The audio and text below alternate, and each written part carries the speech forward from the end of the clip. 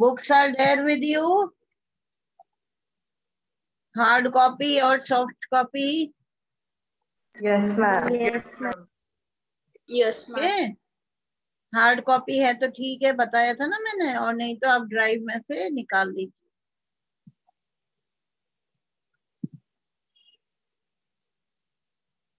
Ma'am download है वैसे तो shall we begin Yes, ma'am. Ma'am. okay uh, so now tell me ki why the old man of the village was sitting there in the back of the classroom? Ma'am, one minute mansi one minute. I know beta you are there. Others? Priya? Ma'am ma'am क्योंकि वो sorry feel कर रहे थे no Hindi come on you are a student of class 12 you are studying English so answer it in English only बेटा okay ma'am come on yes Priya ma'am because they feel sorry yes and they honour the humble because he services from last 40 years yes.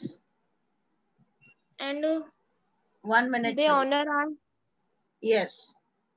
And first reason. honor they and were- Yes, they were feeling sorry for they had not gone to school anymore. Okay. Second one, they had come to show or uh, to show gratitude or to thank the master who had been serving the school for last 40 years, right, beta? And finally, they had come to give respect to the country that was theirs no more. Clear? Yes, ma'am. Yes, ma'am. For everyone, it is clear? Yes, ma'am. Okay. So the next para, the, uh, the date is to be written there. Likhiye date, whatever, Written? Yes, yes ma'am. Ma while i was thinking of, of all this i heard my name called. It was my turn to recite now little friends you know he says that he was thinking about all these things. Ki why sir is wearing this dress and uh, why the villagers were sitting and he listens to the words. Those were like uh, thunderclap to him okay? And then he repents for not learning his language. So he was lost among all these thoughts. And uh, and he was thinking about all these things that he heard his name was being called out by his teacher who was asking a question on the participle.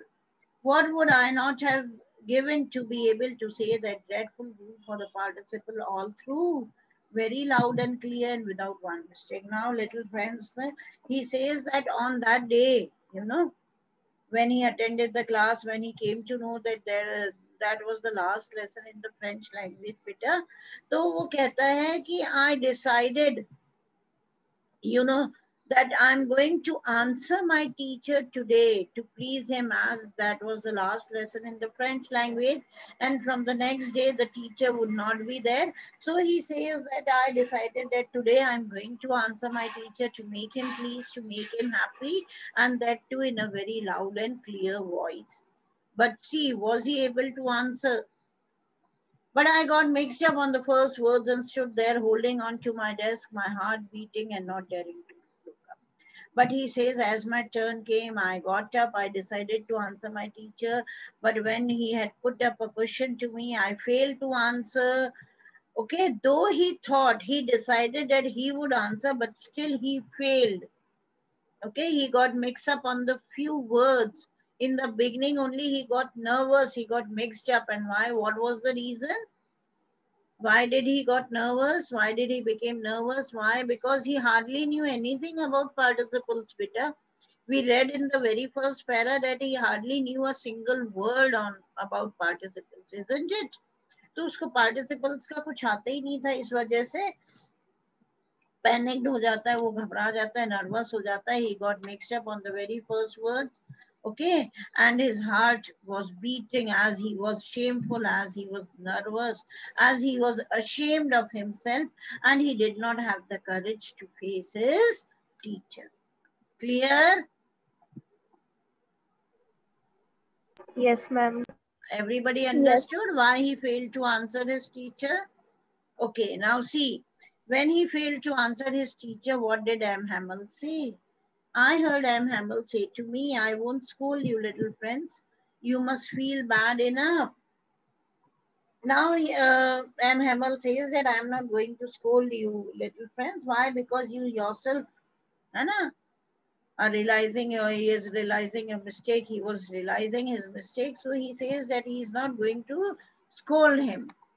See how it is every day we have said to ourselves, by plenty of time, I'll learn it tomorrow. Now, what I said, this thing applies to all the human beings, okay? On all the human beings, you know, when we have plenty of time, we become somewhat lethargic, we become lazy, isn't it? And we try to put off everything on the next day.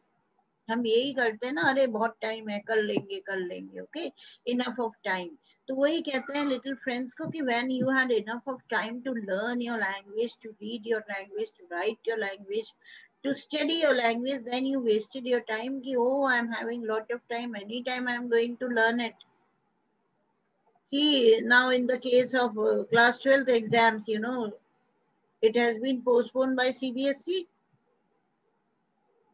isn't it Yes, ma'am. and it may be in the month of June. Maybe possibilities are there, but it is not confirmed until and unless this pandemic does not get over. It is not confirmed. Okay.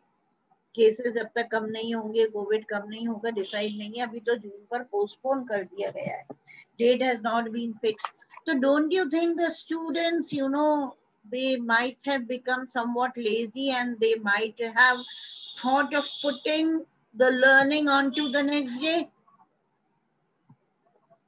लगा तुम्हें कुछ ऐसा? लगता है तुम्हें कुछ? कि जो बच्चे होंगे ट्वेल्थ के, वो बड़े एंथुजियास्टिक होके, बड़े एंशियस चिंतित होके, बड़े ईगरनेस से पढ़ रहे होंगे कि hardly 15 20 days are for the exams to begin so we must study hard और जैसे ही उनको पता पड़ा कि अरे, अभी तो पोस्टपोन हो गए अभी तो वन एंड हाफ़ मंथ और nearly one month is left what do you think? They would have become more energetic or not? Or they would have become somewhat lazy or lethargic? बताओ would become lethargic. and yes lazy. very good Jayanti okay अब उनका सबका ना most of the students सबकी एक ही thought होगी यार बहुत टाइम है lot of time is there यार will do it will do it okay and same thing they would be telling to the parents कि अरे मम्मा डैडी बहुत टाइम है कर लेंगे ना एग्ज़ाम्स पोस्टपोन हो गए कर लेंगे इजंट इट बेटा? Yes, ma'am. और हम होते तो हमारे साथ भी यही केस होता। होता कि नहीं होता? Yes, ma'am. हाँ, लेकिन बाद में जब एग्ज़ाम्स होते और मार्क्स कम आते तब हम रिपेंट करते हैं कि we had enough of time है। हमारे पास बहुत सारा समय था और हमने जस्ट वेस्ट करा वो समय। गेटिंग इट और तब हमें ये फील हो सकता है कि हाँ भाई, वो हमें जो बीच में एक मंथ एक्स्ट्रा मिला था, उसमें हम पढ़ लेते तो we would have scored more marks okay better percentage we would have got isn't it जिनके एटीज में आएँगे वो सोचते होंगे कि हम वेस्ट नहीं करते तो नाइन्टीज में आ जाते नाइन्टीज वाले ये सोचते होंगे मैरिट तक पहुँच जाते।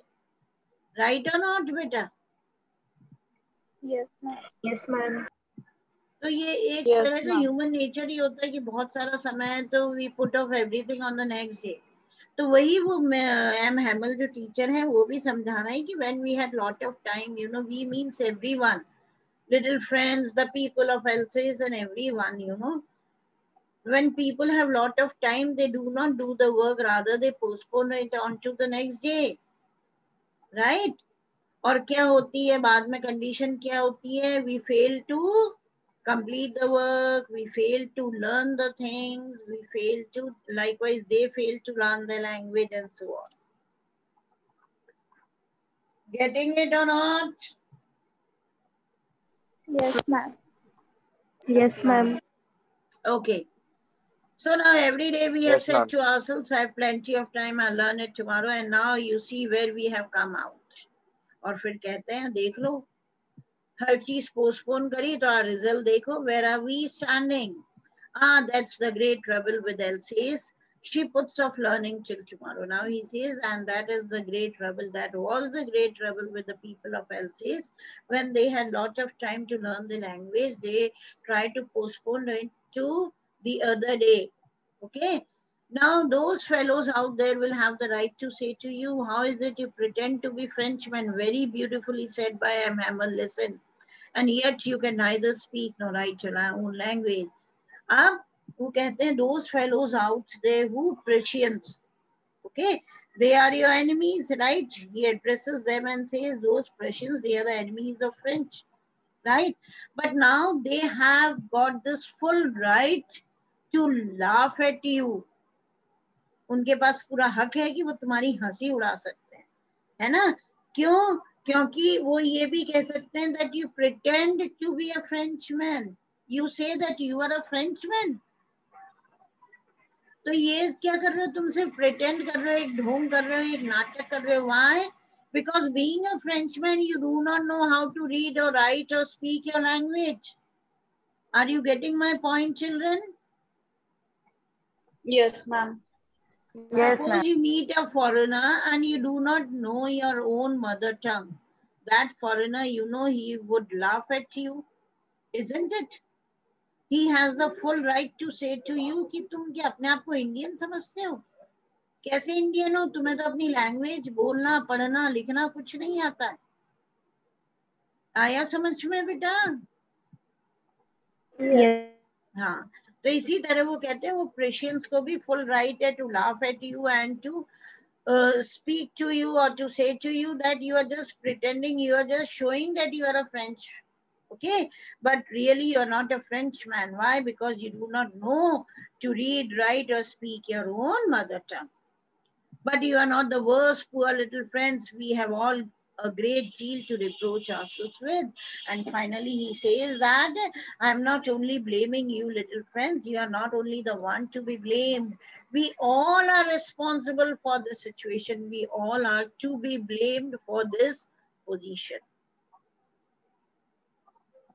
Then he, further he says your parents were not anxious enough to have you learn. Now he blames the parents also. Why? Poor parents, they are not worried to send the children to school.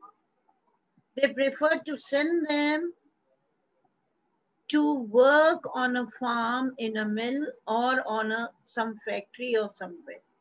Why do they prefer so? Why? Parents, you know, many of the parents, especially the So poor they have a little more money. Yes, Jayanti, beta. Uh, Why do they prefer to send their children to work or to earn? Ma'am, Instead so of, they have a little more money. yes, very good. So that the children might earn money, okay? जो उनको लगता है that is more necessary than studies जो गलत है है ना बच्चा पढ़ेगा लिखेगा तो ज़्यादा अच्छा अर्न करेगा ना इसकी बजाय कि बच्चा पढ़ता लिखता नहीं है और मजदूरी करेगा तो क्या अर्न करेगा बेटा? His life you know it would be a help okay और पूरी लाइफ उसको स्ट्रगल करना पड़ेगा पॉवर्टी में। तो वो पेरेंट्स को भी ब्लेम करते हैं कि सिर्फ़ तुम्हें ही क्या ब्लेम करूँ little friends even your parents are to be blamed why when there was time the children to st- uh, school they did not uh, send the children to school. Instead they prefer to send them to some factory or some farm or on a mill to work to earn money. And i i have been to blame also. And then he blames himself also for this position. See have i not often sent you to water my flowers instead of learning your lessons? Now he says when he was not in the mood of teaching the students, he would ask the students to go and water the plants, okay? Water the flowers or water the plants or go and water um, and go and water into the garden the plants that were growing there. So when he was not in the mood, कहता जब मैं mood में नहीं है mood होता था, I used to ask you to go and water the plants that were growing there in the school garden. And when I wanted to go fishing, did I not just give you a holiday?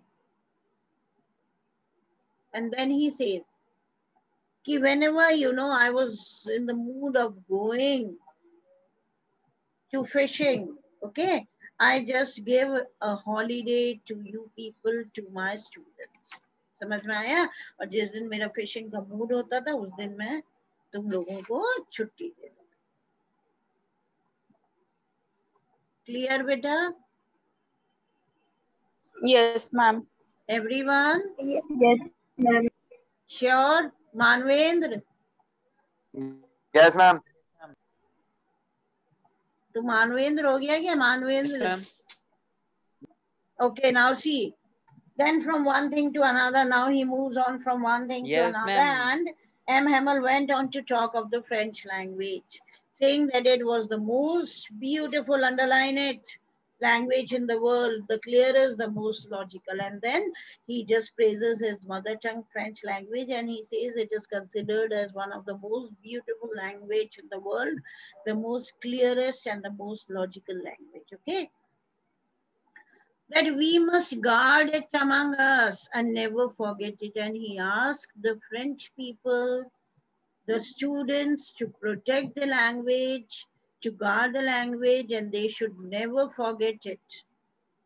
अब ये सब पर apply होता है every person you know people of all the nations they must guard their mother tongue and they must never forget their mother tongue why आगे reason है underline करिए because when a people are enslaved as long as they hold fast to the language it is as if they had the key to their prison है ना क्योंकि as far as people are enslaved M. Hamel, he wants to say that if you have a very good command on your language, if you guard your language, if you protect your language, if you have lot of fluency on your language, you know, uh, if you have a very good command on your language, that command it act as a as if uh, you are having a key to the prison. Suppose you are being enslaved, you are made slaves, you know, and in case if you are having a very good command, fluency on your language, that fluency helps you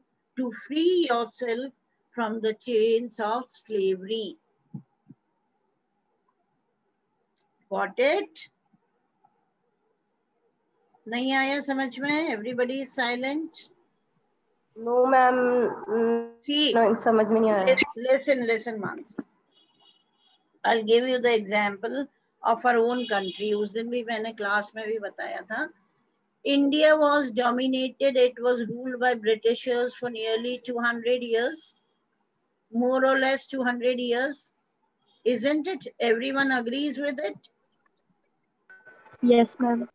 Yes, ma'am. Okay. And the first mutiny, you know, Sepoy mutiny, we can say the spark of national movement, you know.